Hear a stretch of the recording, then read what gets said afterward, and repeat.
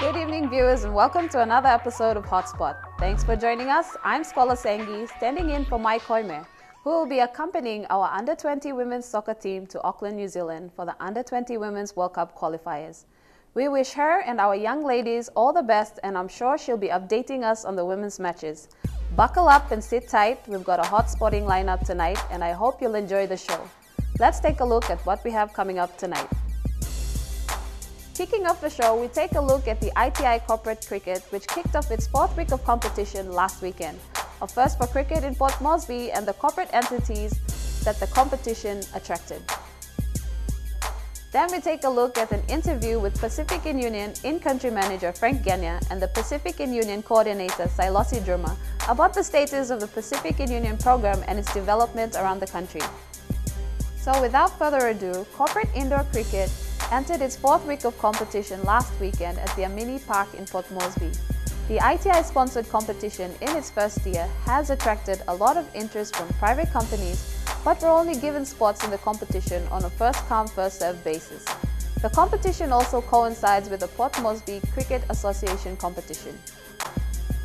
For most of us who couldn't resist the excitement of hitting a six over the fence or taking someone out on the full, Homemade stumps, a carved out bat from a piece of timber, and a tennis ball wrapped up in tape is good enough to attract a crowd for backyard cricket. Indoor cricket, as the name suggests, is played indoors on a futsal pitch. We caught up with ITI Corporate Cricket Competition Organizer and Vice President of Port Moresby Cricket Association, Dean Ani. The comp's are actually in its fourth week now. Um, we've got the, the men's competition, the mix, and basically a corporate corporate uh, competition put together for the corporate companies, the employees, and the, the spouses and the family actually to come together and uh, come and enjoy a game of indoor cricket, which is um, different from the outdoor playing in the field. This is actually playing in the, uh, the indoor nets. Um, the competition is sponsored by uh, ITI, the uh, International Training Institute and we are thankful to our sponsor for sponsoring the uh, the indoor cricket comp, which is the corporate comp. So we've got two competitions running at the same time: the, the corporate comp and the Moresby cricket uh, season teams um, competition as well, which is on Sundays at every four. We've got about uh, 11 mixed teams and 14 men's teams um, running on Saturdays and Sundays. So Saturday starts at 2 o'clock with the mix and finish it off with the, the men's comp at 4 o'clock. So that's for the corporate. Then Sunday we have the men starting off at 12 o'clock, followed by the mix at 2, and then we got the season, the pond cricket comp, uh, which has t- 16 in it. They go for, um, start at 4 o'clock, that's every Sundays. So basically in the four, four weeks now, we're looking at the, the mixed teams competition running until end of March, together with the, the men's as well. So hopefully we should have the finals at the end of March. Then we start off with the T20 um, for the cricket um, in April. Unfortunately, we would have liked to have this running a long time ago, but because of facilities, um, we're thankful to Cricket PNG, um, who've um, put together this uh, multi-indoor um, facility together with the houses um, playing indoor soccer has been playing here, um, indoor hockey, and it's the first um, properly um, run indoor cricket competition now. Uh, I think previous years used to be played elsewhere, I think at Holiday Inn or something. Um, but this is the, the first ever the proper properly run competition using the the international indoor cricket rules. Um, the association has got our own um, playing rules put together for the competition, um, basically for the corporate comp, and we've got a very good support from all the corporate bodies. We'd like to accommodate plenty of um, teams which we had, we had to cut down, first come, first serve. So we've got about 18 to 19 um, corporate companies have come together to fill it in the mix and the um, men's competition. So we can see that since um, three weeks ago, it's been full on um, after the rains have um, gone away. So we're having the comp full on now with everyone coming by and good to see everyone in the uniforms in the corporate uh, attire, and it's, it's good um, uh, marketing also for, for the companies and also part of um, social um, getting for the families and the and the employees. Um, spouses coming together and part of um, networking together with the other corporate companies. So basically, everyone coming and having fun. It's, it's pretty good, good out here, and we're getting a lot of good support from, from everyone uh, who have come out. The competition consists of 14 men's teams and 11 mixed teams and is expected to end next month. The concept of bringing employers to strengthen networks, the competition allows for spouses and families to socialize. I'm sure with the cricket season at its peak, most of you have been playing a lot of backyard cricket and have taken out a few wickets. If you have nothing to do this weekend and like to catch some cricket action, head on down to Amini Park in Port Moresby after 2 p.m. on Saturdays and Sundays. We'll now go for our first break for tonight, and when we return, for you rugby fans, we take a look at an interview with the Pacific and Union program.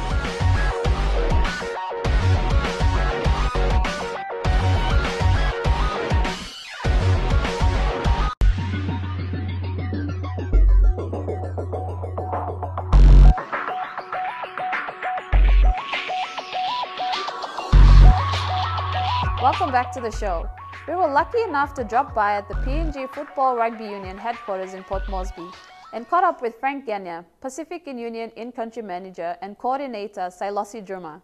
The rugby development program has been successful in Port Moresby and has sparked an interest among school-aged children and young girls. Rugby Union, as a football code, has come a long way in its development. For the first time last year, we saw a school rugby competition that kicked off in Port Moresby. Our female rugby union team, the Palais, have climbed up rankings swiftly and is hopeful in the national provincial championships come March. Pacific in Union in-country manager Frank Genya on the Pacific in Union program. Okay, the Pacific in uh, Union program is a curriculum-based program. Uh, it's AusAid funded, uh, given to uh, ARU, the Australian Rugby Union has been given the uh, responsibility of uh, you know, implementing this throughout Papua New Guinea with obviously the support of PNG. Um, uh, Port Moresby successfully piloted uh, this program last year. Um, PNG are now looking to expand that this PRU program throughout uh, regional Papua New Guinea. Uh, we made our first visit just um, the end of January to East New Britain, Rabaul. Um, eight schools uh, were organised to begin this program up, up, up there and um, they'll be starting the program in the next few weeks. And uh, basically what the program is about is, as I said before, it's, it's a curriculum-based program. Um, it's done within class time and it teaches our kids uh, you know, values such as discipline, uh, respect, um, and you know, healthy living, you know, amongst others. Um, you know, the best part about this program is, as I said, it's, it's, it's done during class time. And, um, you know, not only that, we get to teach, we get to teach our kids how to play footy, pass the ball, make a tackle, that sort of thing. Um, but yeah, that's that's pretty much what the program's all about in a nutshell.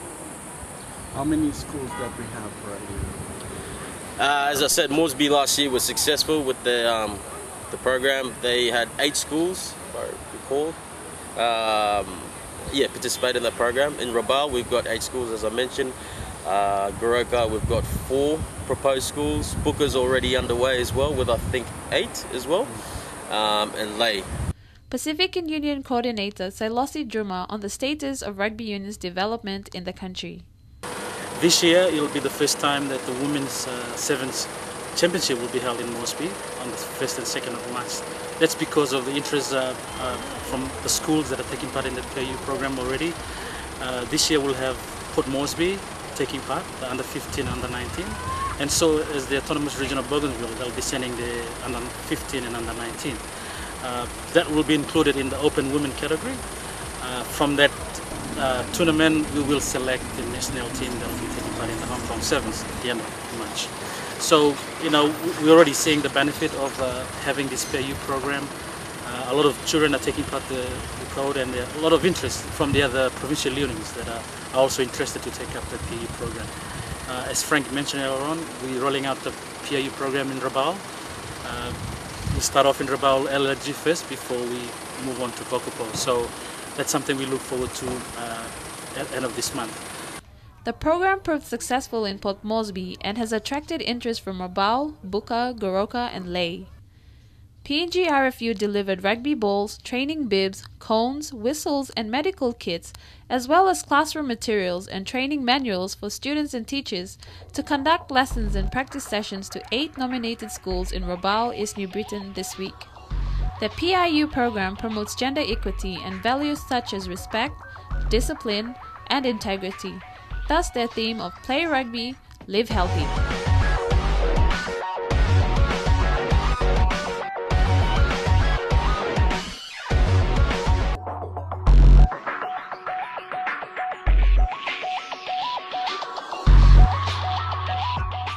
Have you back.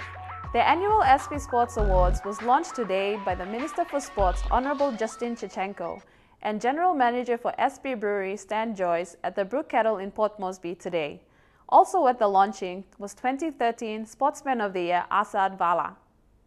We are here at the launch of the 2014 SP Sports Awards, PNG's premier awards night. It recognizes the achievements and efforts of all sportsmen, women, and administrators here in the country.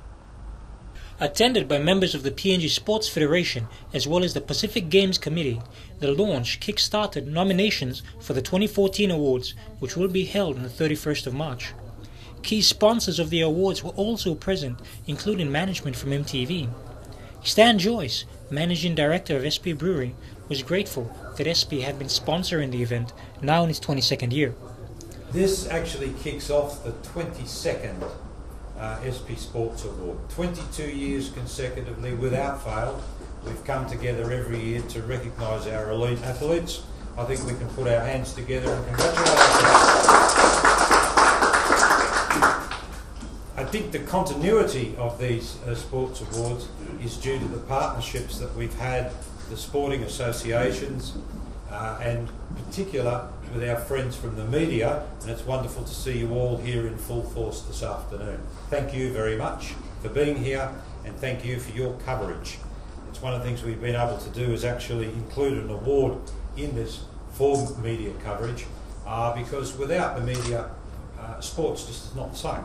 Uh, people rely on you to get the information across. They rely on you to interpret a lot of things that are happening. And I think that the skill base that we apply to doing that in Papua New Guinea is growing, and it's a skill base that we would encourage to continue to grow. Thank you very much. Uh, we at the moment, just a little bit off track here, but I think it's appropriate that we acknowledge the fantastic result of our SP Hunters team in Brisbane last weekend. I mean, that's a fantastic The team they beat was the runner-up in the cup last year, I was even more impressed to see that you know we played overseas and we won. That's always good to be able to account for.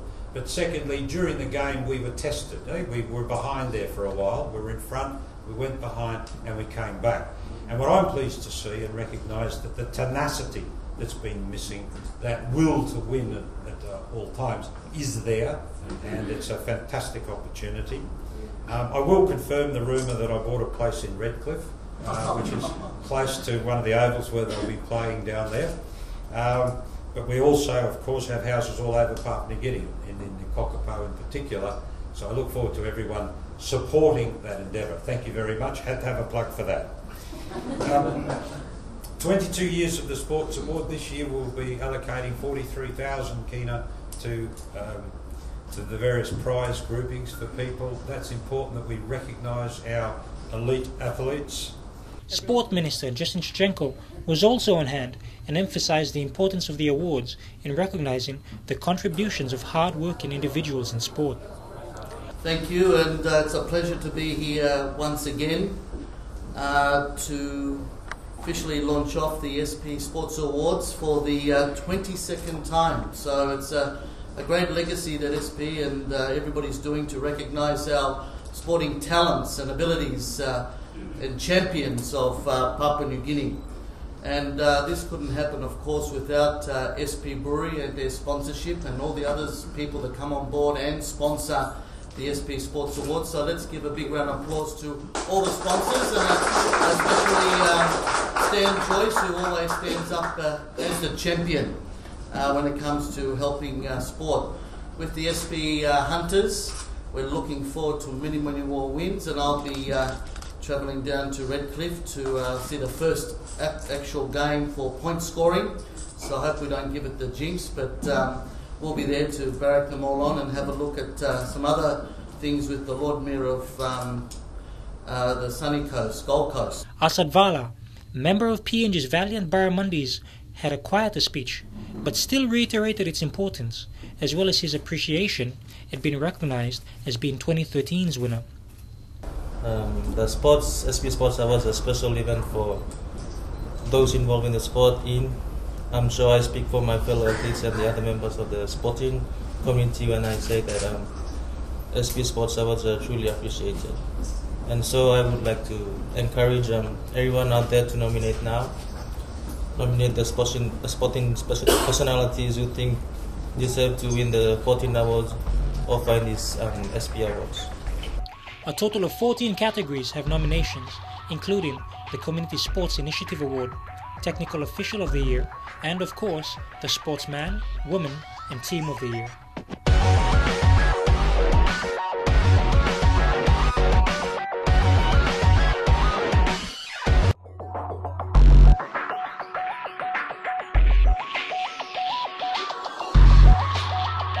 It's gonna be a busy weekend for everyone. That's all we got for Hotspot tonight. Remember to tune in to Sports on Monday for more sporting action and results over the weekend. Telikom NSL kicks off round two in Port Moresby. We see the Eastern Stars FC take on FC, and in the main game, Hekari meet the new boys Admiralty FC. And in Lae, Vesta FC coming off the first bye of the season takes on Lae FC at the St. Ignatius Kilage Stadium, while big winners Gigira Laitepo Morobe are on a bye. Capital Rugby Union in Port Moresby enters its third week of competition at the Monia Rugby Park on Saturday.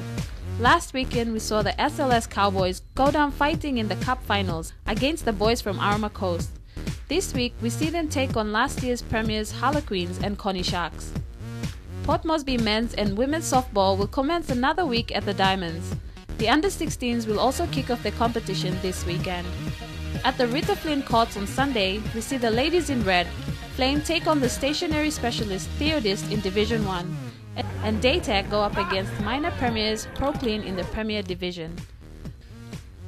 With a week off, the Borroka Off-Season League will see the eight teams vying for a spot in the finals on Sunday at the Unagi Oval. A big shout out to the young Pukpuks and Palais in Plaspradas who received their footy equipment this week. I'm sure you're all excited to get on the pitch and put your footy skills to test. You can check us out and like our page on Facebook. Until next Thursday night, I'll see you right here on Hotspot.